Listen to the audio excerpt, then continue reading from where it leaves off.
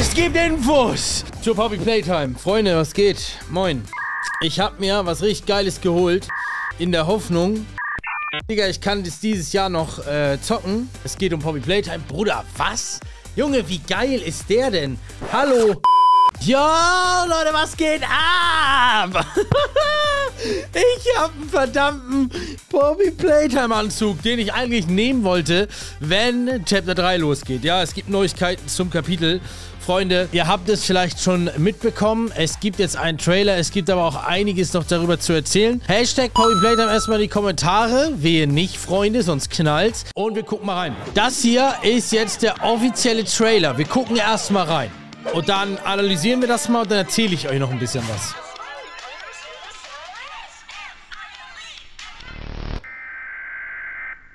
Yo. Was geht hier, Mann? Hallo?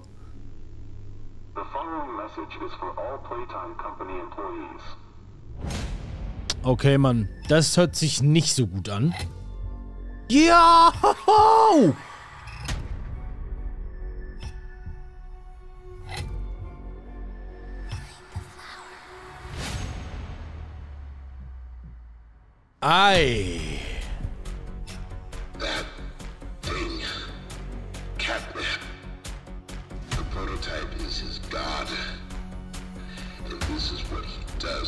Heretics.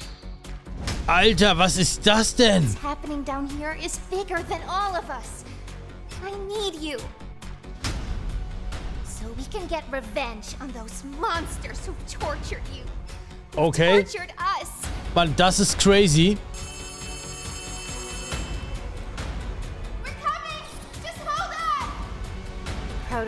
Has to die. For this. For everything.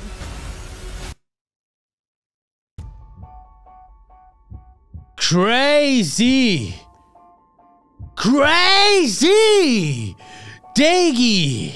Bevor wir jetzt weitermachen, ähm, schon mal eine Info, da könnt ihr euch sehr sicher sein, dass die stimmt. Bobby Playdown kommt dieses Jahr nicht mehr. Ich habe äh, mit einem Verantwortlichen bei MOB Games gesprochen. Die haben sich besser aufgestellt, Leute. Ihr kennt ja meinen Struggle. Und zwar, ich habe jemanden dort gefragt, der viel Einfluss hat in der Firma, wie es aussieht, weil ich nochmal gerne in Urlaub möchte und das Release natürlich nicht verpassen will. Und der hat gesagt, das kommt erst im Januar. So dementsprechend, Freunde, macht euch keine Hoffnung mehr. Dieses Jahr kommt auf jeden Fall kein Poppy Playtime mehr. Ist schade, aber äh, das Game, und da gehen wir jetzt mal drauf ein, sieht ja ziemlich krass aus. Gehen wir mal in den Trailer nochmal rein und äh, checken mal aus, was da so geht. So, was haben wir hier? Erstmal natürlich die Infomercials, also die Werbung und so, das kennt man alles.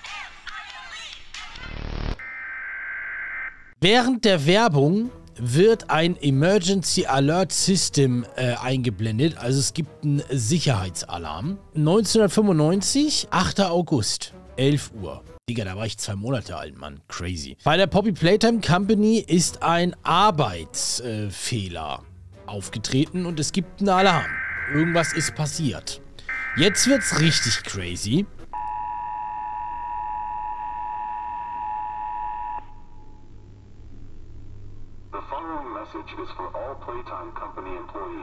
Die folgende Nachricht ist für alle Poppy Playtime Mitarbeiter. Ich zähle mich auch mal darunter. Habt ihr die Nachrichten gehört? Das hier ist der erste Eindruck, wie es in-game überhaupt sein könnte. Und das ist sehr, sehr interessant, Freunde, weil im Hintergrund haben wir so ein bisschen dieses, naja, ich sag mal, äh, so Sterne und so, ne? Und das fühlt sich, oder sieht so aus, als wäre das irgendwie so eine Kuppel.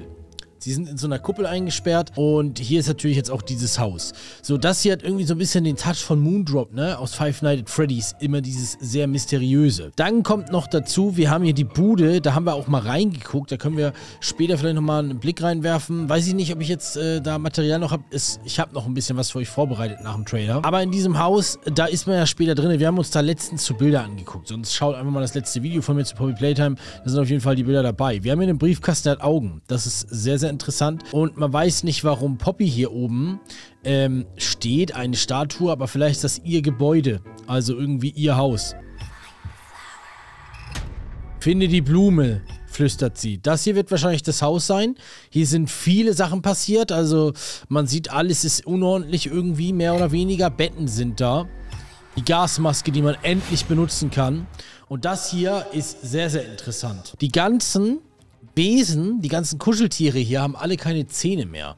Das ist was, was ich sehr, sehr komisch finde. Und schaut mal im Hintergrund, hier ist zum Beispiel der Bron, der Dino, der ist aufgehangen. Oder der Roboter oder so, die, die sind irgendwie aufgehangen. Aber den Kuscheltieren hier geht's gut.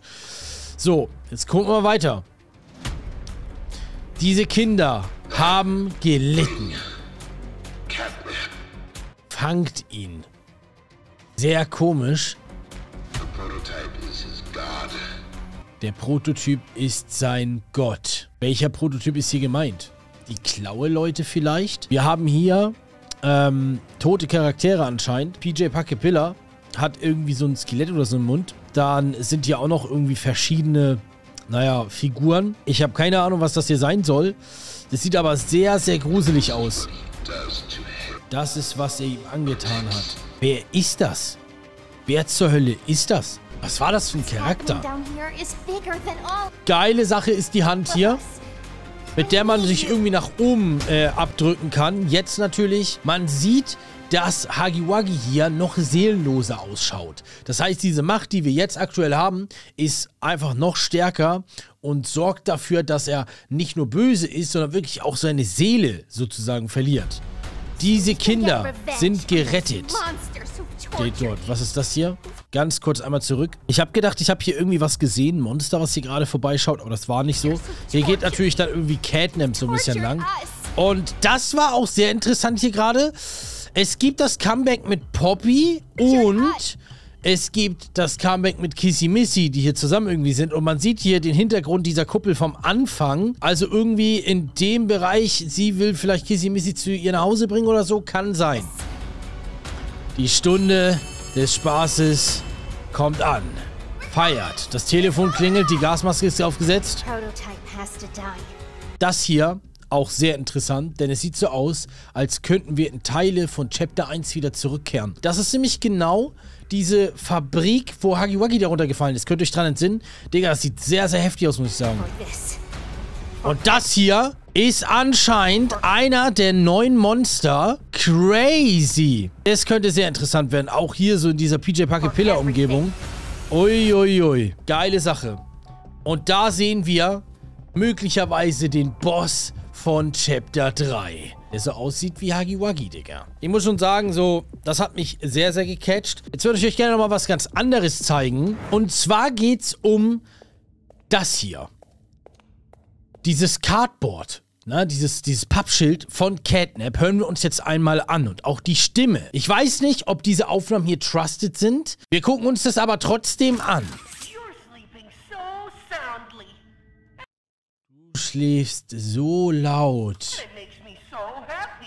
Das macht ihn sehr glücklich.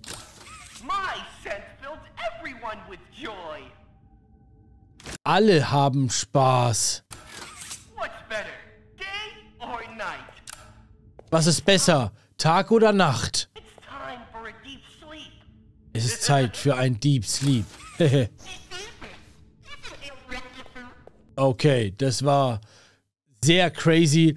Aber meint ihr wirklich, dass die Stimme so ist? Keine Ahnung. Wir gehen nochmal ganz kurz zurück zu einem Video vorher, was MOB released hat. Und zwar geht es da nochmal um eine Rückrufaktion von Catnap. Das wird sehr interessant. Könnt ihr euch noch an die Smiling Critters erinnern? Ganz genau. Da setzen wir jetzt an. Denn dieses Video hier basiert auf eine Wahrheit, die passiert ist. Ihr seht's. Und das geht jetzt los. Aufgrund dessen wurde wohl eine Rück Rückholaktion gestartet. Es geht darum, dass äh, die Playtime Co. Smiling Critters gehört. Das ist irgendwie so eine Unterfirma davon. Und die Smiling Critters wurden halt alle sozusagen ausgeliefert an Kinder und so weiter. Ne? Aber irgendwie fing das an, als Catnap ausgeliefert worden ist, dass Kinder, naja, hinten dann gezogen haben und Catnap irgendwie komische Dinge getan hat. Und die haben dazu geführt, dass die Kinder eingeschlafen sind und Albträume hatten. Und diese Albträume waren richtig schlimm. Gewalttätig, alles mögliche, ne? Also sie haben wirklich, Leute, die hatten einen richtigen Albtraum. Mies schlimm. Hashtag Albtraum, wer den auch mal von euch hatte, wenn ihr genau wisst, wie schlimm sowas ist. Und immer war Catnap daneben. Dann musste die Playtime Company einen Recall ausführen, also sagen, ey Leute, ihr müsst alle die Produkte wieder zurückgeben, es gibt Probleme damit. Das gibt's ab und zu mal. Ja, und die Eltern waren dann da mit den Kindern, die diese Albträume hatten, wo richtig gottloser Mist passiert ist. Und das ist alles Catnaps Schuld. Und sie sagen am Ende noch, ihre Kinder sind nicht sicher mit Catnap. Könnt ihr euch vorstellen, Catnap, ähm, ja, ist ein höchst gefährliches Wesen, ein Spielzeug, was zurückgeschickt werden musste. Äh, das doch mal so ein bisschen auch einfach zur Story selber. Dann wisst ihr auch Bescheid, was jetzt äh, im nächsten Chapter, wenn es passiert und so, was so der Hintergrund ist. Und Abschließend kann ich dazu jetzt noch sagen, ich habe in der Vergangenheit viel äh, Poppy Playtime, äh, ja, also ich habe immer gesagt so, ey Leute, ne, ich zock das nicht, wenn das dieses Jahr mal rauskommt. Ich habe jetzt ja die Info bekommen, wann das kommt. Ich ähm, kann nur sagen im Januar. Und ich bin jetzt auch mit dem CEO von Poppy Playtime also das heißt mit dem Boss der Firma. Äh, wir haben letztens geschrieben und ich bin immer noch nicht im Partnerprogramm, Digga. Ist mir auch völlig egal. Aber ich habe einen Ansprechpartner und das ist für mich wichtig. Ähm, und deswegen, Leute, das kommt schon aus erster Hand. Ich finde es nicht schlimm. Das Game wird, glaube ich, sehr geisteskrank. Die Spielzeit soll so circa drei Stunden betragen, vielleicht doch ein bisschen mehr. Ich bin sehr, sehr gespannt. Wir werden natürlich on-stream, sind wir direkt am Start. Ich erwarte den, Rekordstream schlechthin. Also würde, ich würde, wäre sehr traurig, wenn wir dieses Mal nicht mehr als 6000 Zuschauer sind, weil das ist ja das, was wir äh, letztes Mal hatten, also 5700 oder so. Würde ich mich schon freuen, wenn wir einen neuen Rekord machen.